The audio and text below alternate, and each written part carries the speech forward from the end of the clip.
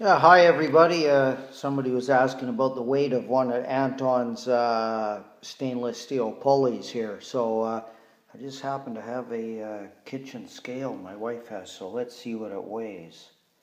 I think this is good for up to about five kilos. So uh, there's the weight, 1,007 grams.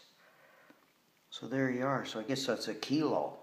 I, I guess. Uh, I don't know, my measurements aren't that great, but uh, I'll do it again just to make sure.